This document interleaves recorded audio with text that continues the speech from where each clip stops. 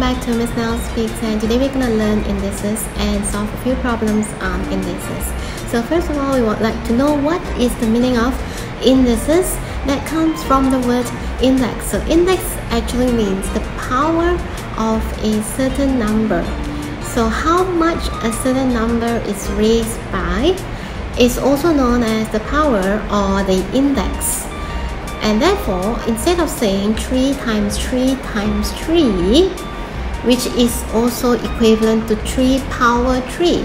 So that power is your index. Because now 3 power 3, it's quite easy to say, right? Because it's only 3 times. But imagine if you have 3 times 3 to 10 times. Are you going to repeat 3 times 3 for 10 times?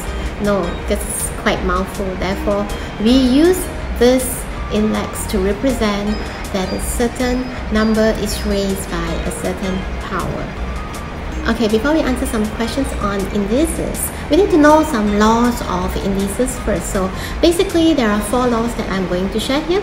The first one is when you see numbers with similar base, and the base here is known as the A, multiply each other but with different powers m and n, the law of indices says that you can actually combine the base because they are the same and add the power. So you have a to the power m plus n. And this time you have similar base, okay, dividing each other with different powers.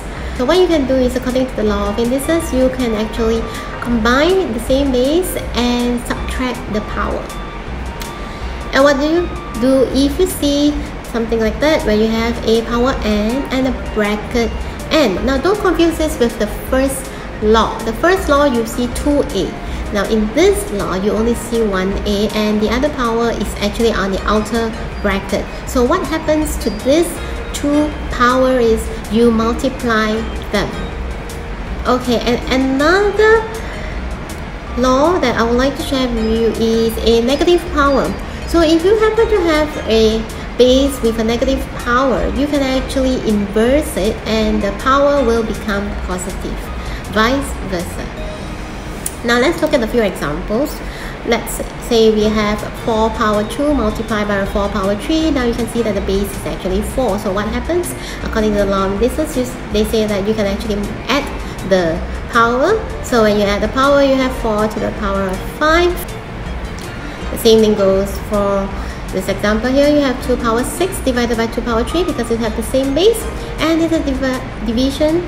So you can actually subtract the power based on the law of indices and then you have a 2 power 3 even without using a calculator you know that 2 power 3 is equals to 8.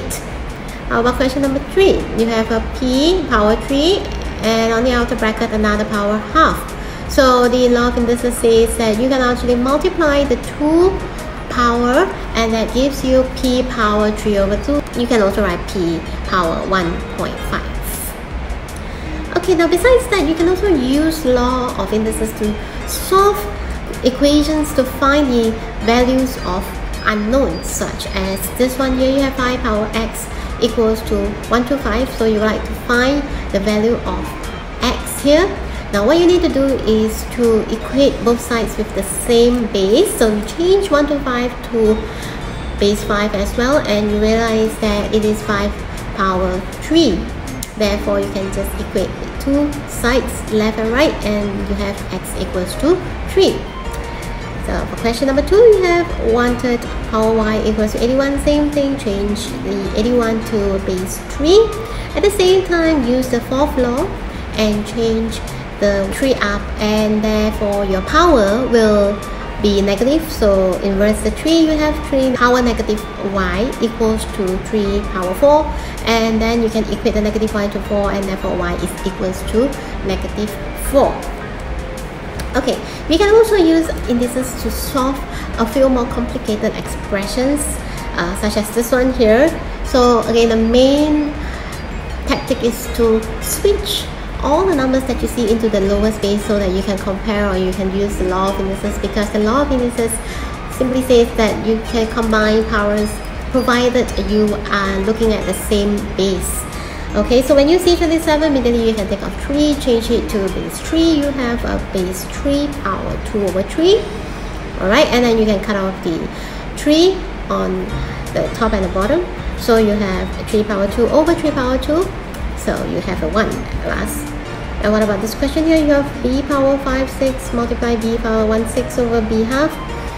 And therefore just use the log indices on the top part or the numerator. You have b power 1 over b half. And again the of indices says that you need to subtract the power. Therefore you end up with a b power negative half. And last but not least today's example you have all this here and therefore we need to change the 9 to base 3 change 9 to base 3 you have 3 power 2 okay? So you're going to combine the powers on the numerator and the power on the denominator using the first law of indices.